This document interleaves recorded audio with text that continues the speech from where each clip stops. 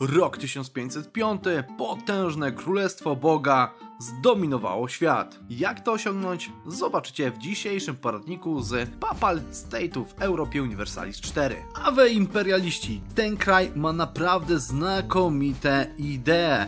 Już na początku dostajemy dyplomatyczną reputację, co powoduje, że milej nas postrzegają sąsiedzi. A jeżeli miło postrzegacie ten kanał, zachęcam do wspierania, bym mógł spokojnie szykować wam materiały, które przecież tak lubicie. Możemy utworzyć unikalne, tak Królestwo Boże na Ziemi oraz unikalny system rządów teokracji dokładnej, a tutaj zwany papiestwem. Co prawda nie jest on za dobry, bo jest jednocześnie naszym największym minusem.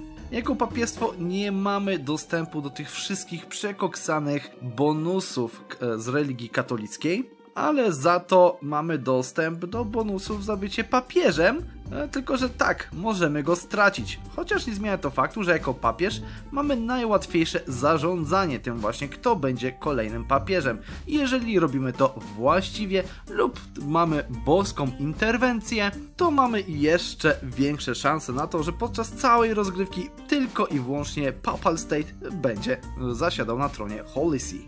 Zacznijmy jednak od estate'ów. Tak, bardzo się za nimi stęskniłem jakie to jest przekoksane narzędzie. Początkowo rozdaję sobie tylko dodatkowe punkty oraz tańszych doradców. U wszystkich i jak zwykle Supremacy Over i tym razem Papacy. Jeżeli będę wybierał dodatkowe przywileje, to je pokażę. Potem sprzedaję ziemię, robię w sumie misję i odbieramy ziemię na koniec. Nic nie musimy dowować, bo mamy naprawdę spore zapasy kraulanców. Posiadamy też dwóch wasali i moglibyśmy już odpalić Strong Duchies, ale jeszcze nie będzie nam to potrzebne. W sumie na początku musimy zdecydować, czy chcemy, czy nie chcemy dołączać do Holy Roman Empire. Dołączenie jest dość łatwe, wymaga tylko 141 punktów pozytywnej relacji z Austrią, więc jest nawet osiągalne w teorii bez sojuszu, ale sojusz na pewno by nam to ułatwił. Dlatego wysyłamy od razu na poprawienie relacji z Austrią jednego naszego dyplomatę, kolejnego wysyłamy, żeby obrazić Prowansję, bo w przyszłości również może stanowić cel naszych podbojów. Mamy naprawdę beznadziejnego władcę i jakby co jego statystyki są losowalne, więc jeżeli chcecie powtarzać, możecie tutaj mieć znacznie lepsze.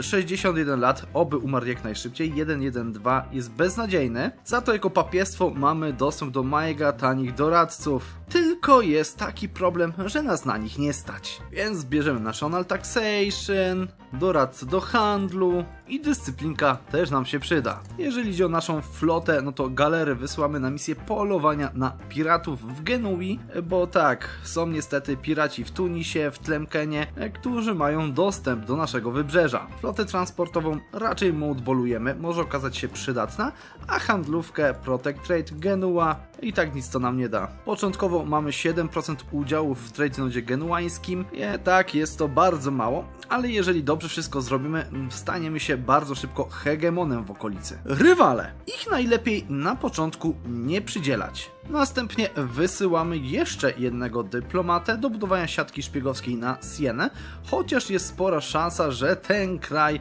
dość szybko dołączy do, do Ligi Handlowej Genui albo jakiejś innej ligi handlowej oraz budowanie siatki szpiegowskiej w sumie na Królestwo Aragonu, bo będziemy chcieli mieć zapasowe roszczenie terytorialne do Neapolu. Kiedy umrze władca Aragonu, zachodzi pewien event i możemy dostać misję na wasalizację Neapolu lub jej nie dostać więc wtedy przyda nam się to roszczenie terytorialne, bo Neapol najlepiej zaatakować od razu, bo po pierwsze nie będzie miał żadnych sojuszników, a po drugie, jeżeli wciąż będziemy papieżem, mamy zmniejszoną agresywną ekspansję o 20%, a to sporo. Oczywiście jeszcze wydajmy bullę papieską, tak doskonale wam tą znaną, która w sumie nie wiem gdzie jest, o, koszty developmentu oraz rozdajmy dwóch kardynałów u siebie, no bo możemy. Przydzielenie każdego kardynała daje nam 10 punktów zainwestowane w to, że będziemy kolejnym papieżem. Kardynałów możemy przydzielić do siebie, ale maksymalnie 7 i maksymalnie do liczby prowincji, które mamy,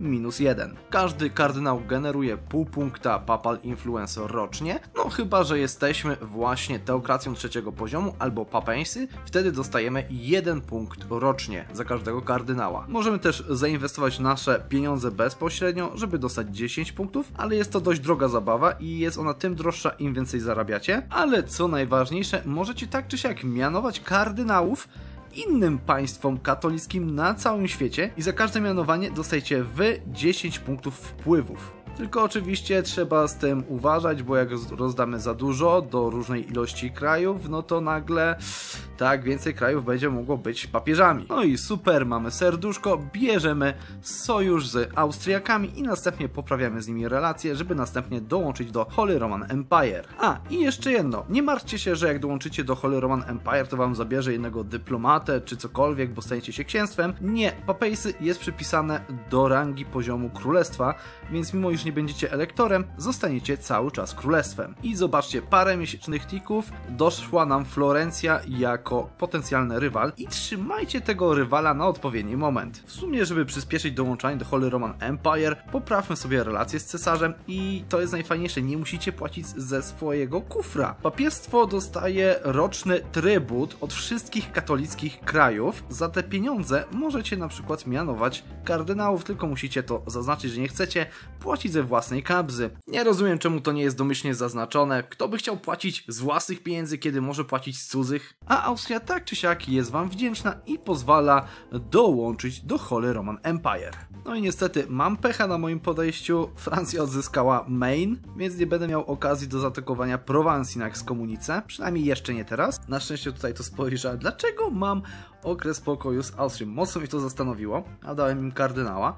Kiedy to zrobimy, dostaniemy 5 lat trusu z danym krajem, więc skoro zamierzam atakować Sienę, wysłanie kardynała nie jest dobrym pomysłem do niej. Ale takie kraje jak Genua, która może być naszym późniejszym celem, już tutaj wysłać jak najbardziej można. Bo naszym celem będzie zdobycie siedmiu kardynałów i jak najszybciej po prostu. Inwazja! Super ważne jest to, żebyśmy mogli zaatakować Sienę i powiem wam szczerze, resetowałem cztery razy do tego momentu, żeby Siena nie miała żadnych istotnych sojuszy. Neapol spłaca swoje długi. Niestety nie dostałem Cassius Belli na Neapol, czyli będziemy musieli ręcznie go zaatakować. W innym wypadku dostalibyśmy Subjugation Cassius Belli i mimo tego, iż Neapol jest dość dużym krajem, ma 133 wartości wojennej, że tak powiem, no mielibyśmy go za 60. Nie muszę też się wspieszyć, że weźmie jakiś sojusz, bo ma obecnie wojnę z Tlemkenem. Siena nasza i tutaj ustanówmy Neapol naszym rywalem. Wyjebiście, Neapol zakończył wojnę z Tlemkenem i od razu ustanowił nas rywalem. Oh my god, ile ja mam tych bonusowych z nim relacji. No to nie będzie ekskomuniki. Nie szkodzi, tutaj zaatakujemy w takim razie bez niej. Jeszcze zniszczmy armię Neapolu, a nóż nam wpadnie 100 Army Tradition. Słyszałem, że z takich eventów się to czasem zdarza. Tyle na początek nam wystarczy. Pewnie w wielu poradnikach słyszeliście, żeby tego nie klikać,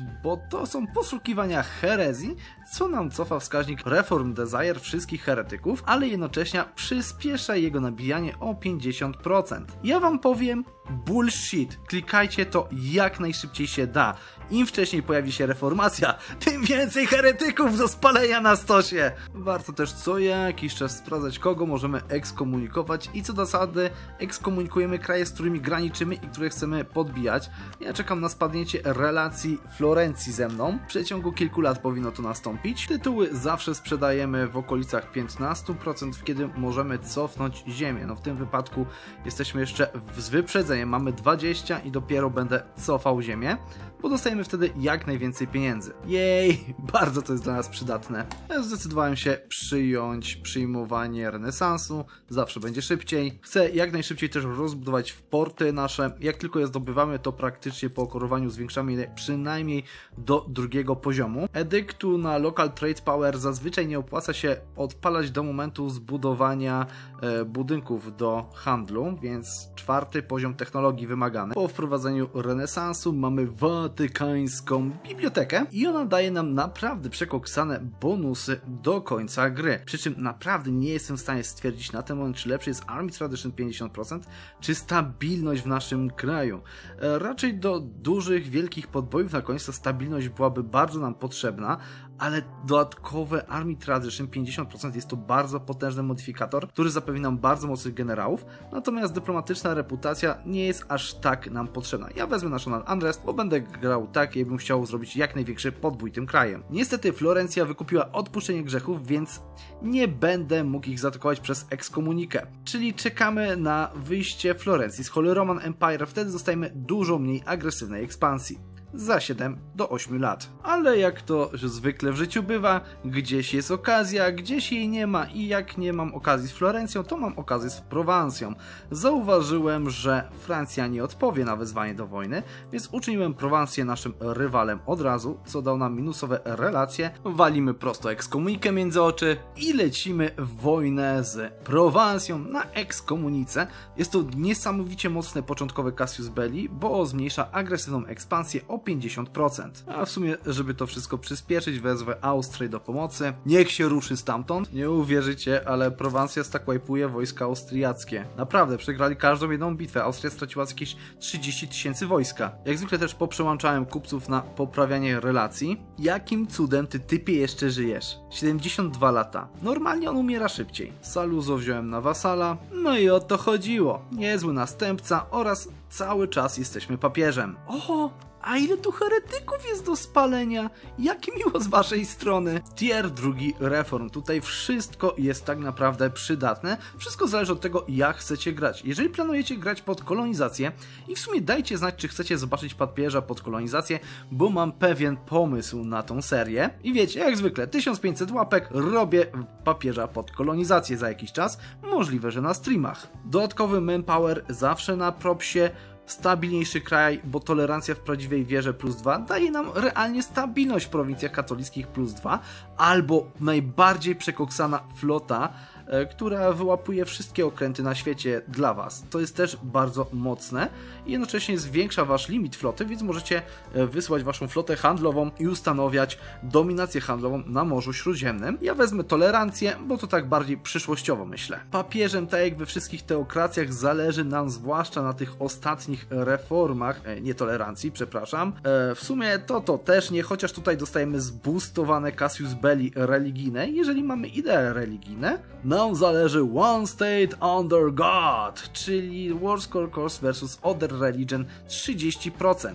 Jak to jest, że zawsze chcesz sprzedać instytucję, to moi sojusznicy nie mają pieniędzy. Prowansja nasza i zobaczcie jakie przekoksane prowincje dostaliśmy. Już 23% udziału w handlu. Następna ekskomunika no na razie do nikogo nie leci, bo nikogo nie mamy po drodze. No, teraz dwóch moich wasali. Nie wiem czemu tylko do jednego z nich mogłem przydzielić kardynała. To jest dziwne. Prowincje, które podbijamy, zmniejszamy w nich koniecznie jak najszybciej autonomię, bo to od jej ilości w naszych prowincjach zależy jak szybko rośnie nam progres reform. Co prawda mamy dostęp do pałaców na polu, więc możemy przyspieszyć reform progress grow oraz w przyszłości zdobyć Dodge Palace. Glory to us! Faceting dostaliśmy, czyli właściwe przycinanie kryształów. Nie ukrywam, że polowałem na to w naszej Sienie. No nie, nie mówcie, że nie zmniejszyłem tutaj autonomii. Więc teraz zostaje mi jeszcze poczekać z podbojem Wenecji. Wiecie do jakiego eventu i z czym. Bizancjum na szczęście nie znajduje się w rękach Bizantyjczyków ani Wenecjan. Wreszcie Shadow Kingdom, czyli zaraz wychodzimy z Holy Roman Empire w sumie. Tak, tak, wychodzimy. Jak najbardziej. No nie jest źle. Większość krajów zdecydowanie wyszło z Holy Roman Empire, więc sami też mówimy sayonara i mamy tańsze roszczenia na Wenecję. Jej! A wiecie, Austrii wyślemy kardynała. Niech, niech będzie zadowolona. A już chciała zerwać sojusz. Oj nie. Pierwsze rozwinięcie, słusznie się domyślacie, agresywna ekspansja z ery. O, już mam złotą erę. A, jeszcze nie ten moment. No i tak, mamy katolicką konfederację, trzy państwa w sojuszu oraz mamy, co najważniejsze, gwardię szwajcarską. Jest dość tania, duża, no i nie ma najgorszego dowódcy. Uuu, czas na generała.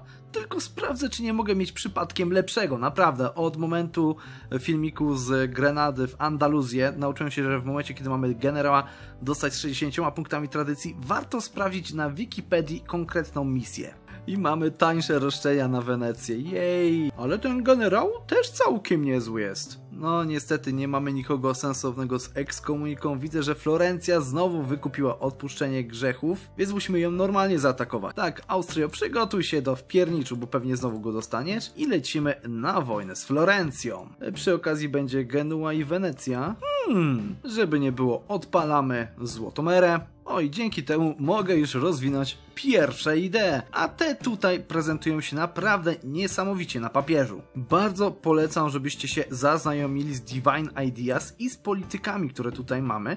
Same idee są dość ciekawe, ale jednak nie mają tego czegoś, czego bym oczekiwał od takich idei przy podboju świata. Nie ukrywam, że kiedy zobaczyłem koszty zmiany kultury o 10% niższe, to od razu pomyślałem o papieżu pod jedną wiarę, pod jedną kulturę, ale nie mam na to siły ani czasu. Mnóstwo dobrych polityk i to jeszcze z takimi ideami, które byśmy i tak brali na papieżu, jak religijne, handlowe, czy jeżeli byśmy grali pod kolonie, no to wiecie, eksploracyjne, ekspansywne. No zobaczcie całą tą listę. Dużo dobrych polityk. Bardzo mocnym buildem, zwłaszcza do grania w erze reformacji, będzie ilościowe, handlowe oraz religijne. Niekoniecznie w tej kolejności. Ja natomiast pójdę pod mój ulubiony build do grania we Włoszech czy też Niemczech, czyli tak słusznie się domyślacie, dyplomatyczne oraz humanistyczne, żeby ograniczyć nabijanie agresywnej ekspansji. Przy czym ostatnio zostałem poinstruowany, żebym najpierw brał zawsze na początku humanistyczne idee, ale uwaga, nie rozwijał ich. Macie szansę na to, że pojawi wam się event w przeciągu kilku lat na zmniejszone koszty idei o 10%, więc fajnie jest to mieć, a wystarczy mieć tylko i wyłącznie wybrane idee humanistyczne. Więc dopóki tutaj nie będę miał 999 punktów, odwróć to do góry? Tak, Szatan jest ukryty. no to będą sobie tutaj leżały włączone idee humanistyczne, a potem przełączę je oczywiście na zrobienie szybko idei dyplomatycznych. Po co ja to odklikałem? Podobnie możecie robić za każdym razem, kiedy jesteście na kolejnym tierze, a brakuje wam jakichś punktów, żeby nabić na przykład 3 naraz. A nuż ten event się odpali,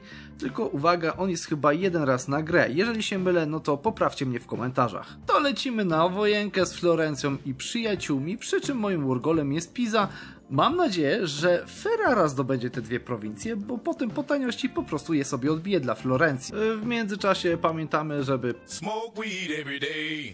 Polandia zaatakowała głodny kraj, a my topimy wenecką flotę chyba. Tak, mamy zdecydowanie przewagę w galerkach. Oj, Florencja padła. Wyjebiście, lecimy na Genuę. A nasi najemnicy i gwardia szwajcarska E, halo? Czemu to przegrywam? Czemu ja mam... A, tu nie mam fortecy. Pomyliło mi się. No widzicie, czasem bitwy też przegram. Event się nie odpalił, więc biorę dyplomatyczne, bo jak widzicie mam kapa punktów. Od Genui bierzemy pieniążki oraz wojenne reparacje. Raczej nie mogę sobie pozwolić na zabranie ich stolicy, a szkoda, bo jest naprawdę wartościowa. I nie mamy w przypadku przywódcy Ligi Handlowej możliwości transferowania handlu. Niestety. A też nie chcę mieć z nimi jakiegoś długiego pokoju, więc dlatego biorę tylko pieniążki. Wenecję podobnie, tylko, chociaż...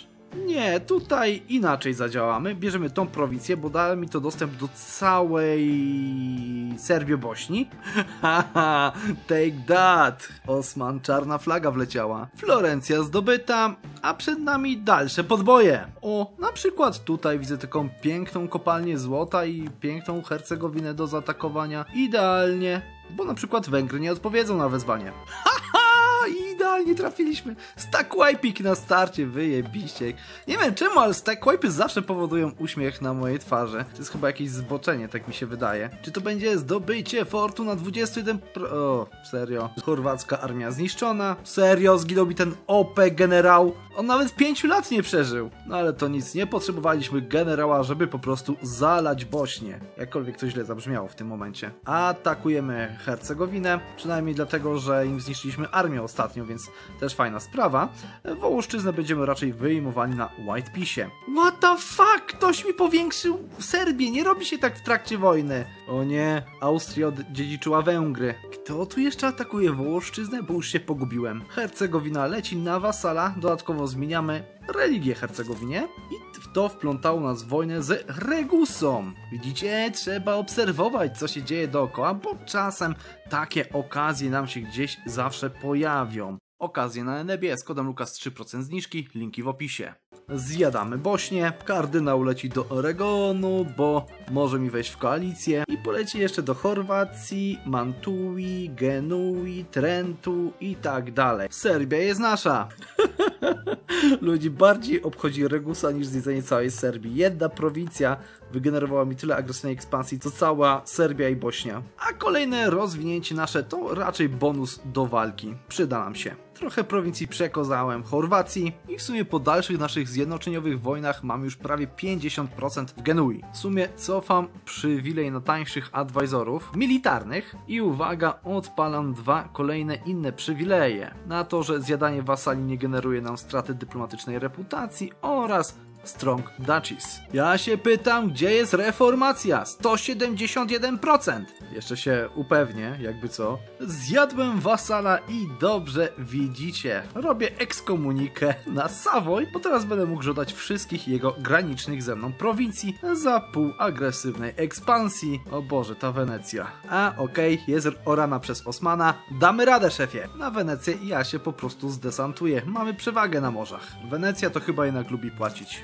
Gdzie moje forty ci oblegać? Gdzie moja reformacja, ja się pytam. No dobra, teraz trzeba troszeczkę przystopować. Nie dlatego, że mamy za dużą agresywną ekspansję, bo w zasadzie to nie, bo tylko z państwami włoskimi, ale zbliża się kolejna fala buntów, które muszę stłumić. A i tak mam jeszcze troszeczkę prowincji do pokorowania, no i wiecie, kopalnie złota do zdewowania i takie tam inne prowincje do nawracania. Też taki moment, że wstaliśmy na przyjęcie doktryny morskiej i tutaj w zasadzie są dwie do wyboru, a na papieru trzy. Ship Trade Power, gdybyśmy już chcieli budować flotę handlową, w zasadzie jest to ważne po 1600 roku, kiedy te statki dają więcej Trade Powera. Dla papieża, gdybyśmy wybierali na drugiej formie rządów, właśnie to często Capture Enemy Ship, no to bym szedł zdecydowanie pod łapanie okrętów przeciwnika. Boże, gdzie to było? Na wszystkich wodach śródziemnych, jak planujemy toczyć wojny jakieś, Galley Combat Ability jest chyba najlepsze do wyboru i też to biorę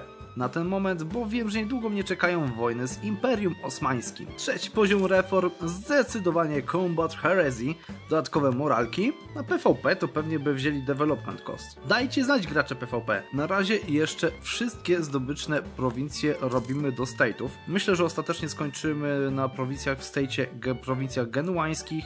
Cała reszta już od Aleppo, Aleksandrię, Tunis, e, Safi to będą trade company, a jeżeli będę zdobywał Iberię, czyli te trade nody tutaj handlowe, to jeżeli już to terytoria, bo tam nie mogę mieć trade company. Co do zasady, to state'y w zasadzie gdzie się da i nam opłaca powinniśmy robić. Wiem, że tutaj jest manpower i pieniążki, dlatego na Bałkanach wolę też mieć state'y. Pierwszy region, który będziemy nawracali to oczywiście prowincja ze złotem, jak i region ze złotem. Mam dużo kościołów pobudowanych, bo to akurat w naszym wypadku się opłaca. Zapomniałem wspomnieć o tym, że Devotion również podnosi nasz tax income, więc fajnie jest mieć go jak najwięcej.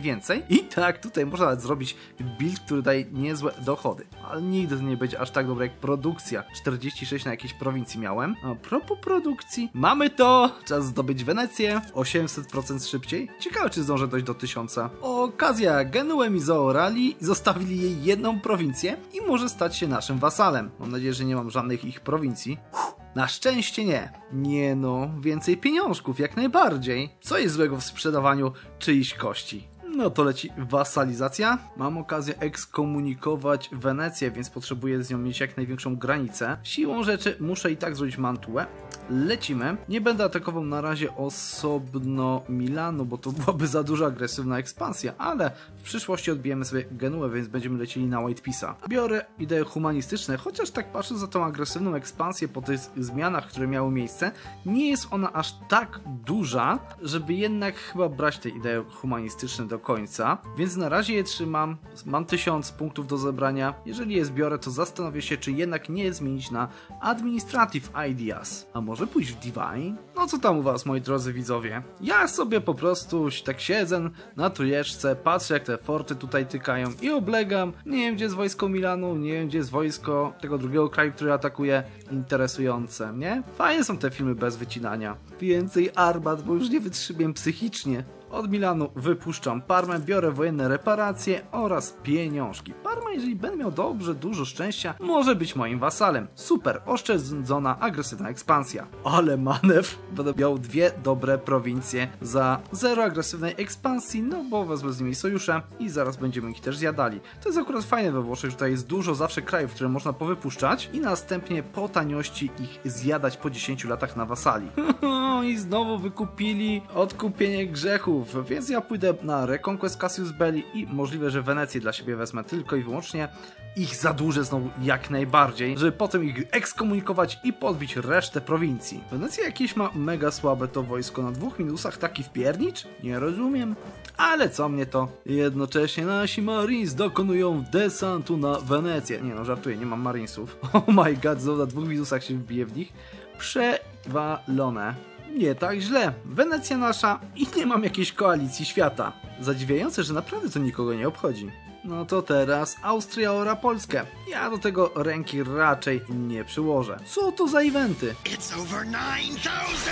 Tylko w tysiąc kliknąłem i zobaczcie, w Lubece nam się odpaliło. Powiem wam tak, gdybym grał pod reformowanie Holy Roman Empire, to byłaby idealna sytuacja. Atak na Lubekę i nawracanie tej republiki na jedyną słuszną religię. Ale że gram papieżem, to ja chcę mieć jak najwięcej innowierców. Trochę to dziwne, nie? Rozpocząłem budowę monumentu w Rzymie oraz w Napolu i w sumie jeszcze mamy monument Santa Maria coś tam, który jest bardzo fajny, bo zmniejsza koszty, doradców.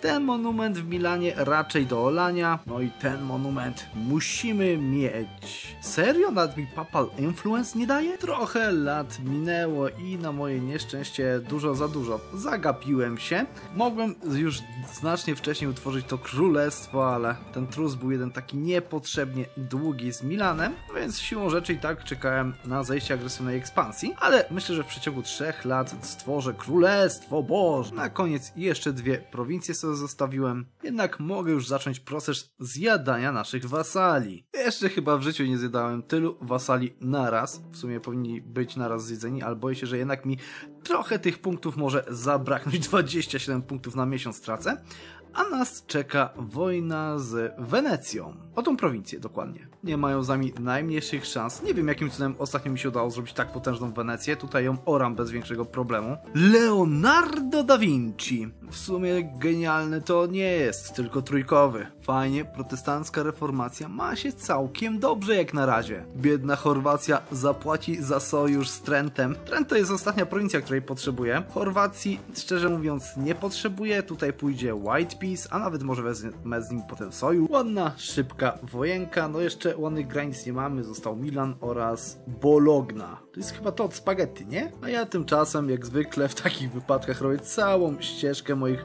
żądań terytorialnych, które i tak nam się zbytnio nie przydały, bo lecieliśmy za naszą ekskomuniką. Rozwinąłem dwa etapy humanistycznych idei i powiem wam szczerze, totalnie ich nie potrzebowałem. Przed obniżeniem kosztów warscorowych w tym miejscu naprawdę trzeba było mieć te idee skończone, żeby podjąć to wszystko bez koalicji całego Holy Roman Empire. Albo znacznie lepiej teraz gram. Nie wiem co z dwóch. Nie no, raczej nie gram dobrze teraz. Przekroczenie na wojsku, przekroczenie na flocie, ja wciąż zarabiam.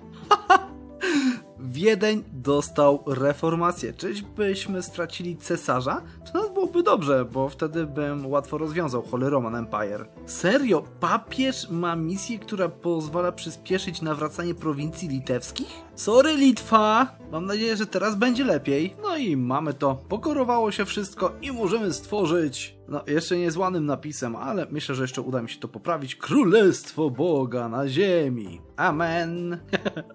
nie no, czemu miałbym wybrać to niżej? Tym bardziej, że z Papal State'u i tak nic innego nie możemy zrobić. Dostaliśmy Królestwo Boga, co zabrało mi 10% morali, a 10% więcej manpowera, devotion, tańsi kardynałowie, za których i tak nie płacę przecież. Bardzo przydatne. Papal influence from cardinals plus 100%. O, dobra, oni nic nie mają. Plus 50? A, bo to czekajcie, to był influence, to ja może dostaję po prostu teraz 20 ich punktów. Nie? 10? To ja nie wiem, co to to robi. No ale gdyby miał większy kraj, miałbym ładniejszy napis. Misje też nam się dalej nie rozwinęły. Trudno. Przystąpmy do poprawiania napisu. No już lepiej, ale jeszcze nie do końca. A i tak z ciekawości, wiecie co jest najlepsze jeszcze w byciu papieżem? Że mogę ogłosić coś takiego jak krucjata, na przykład na Osmana. To mi daje Holy War Cassius Belli na ten kraj, czyli mogę go łoić z Holy War Show Superiority, gdzie mamy zmniejszone koszty agresywnej ekspansji, mogę brać wszystkie prowincje jakie chcę. Fajna sprawa, nie? A idei religijnych, jakby to powiedzieć, nie stwierdzono. No i ostateczne dopieszczenie naszych granic, tylko czemu oni mnie tak nienawidzą? Nie wiem jak wy, ale ja myślę, że katolicy powinni się cieszyć z tak wspaniałego Królestwa Bożego na ziemi. Chociaż ta reformacja może co nieco nam tutaj tłumaczyć. No ale szczerze mówiąc, ta koalicja jak chce, to niech na nas uderza, bo my mamy najsilniejszą obronę w tej grze. Forty w Alpach. Nic przez to nie przejdzie. Dalsza nasza ekspansja będzie szła w kierunku, dobrze się domyślacie, Imperium Osmańskiego. Zostawiamy na razie Holy Roman Empire sobie. Mamy 100 golda inkomu, naprawdę sporo zarabiamy. Technologia, no jeszcze do przodu, będzie za chwilę jeszcze bardziej. Idee mamy rozwinięte dyplomatyczne w całości, humanistyczne jako tako. Chciałbym powiedzieć, że jestem największym królestwem na świecie, ale niestety większy jest Ming. Co ta Austria taka mała? Ale mamy erę reformacji, 1500 rok. Mamy 100 lat podbojów z modyfikatorem minus 25% do kosztów prowincji. Mamy dyplomatyczne. I tak, słusznie uważacie, ja w koalicji będę miał za chwilę cały islamski świat. No może nie cały, bo cały mnie odkryje za 40 lat dopiero, więc mam 40 lat na podbicie Osmana oraz Mameluka. Ale czy chcielibyście zobaczyć jeszcze kolejne 50 lat rozgrywki? Jeżeli tak, zostawcie mi znać w komentarzu, obejrzcie ten odcinek. No w sumie tego do tego momentu musieliście obejrzeć. Trzymajcie się, pa pa!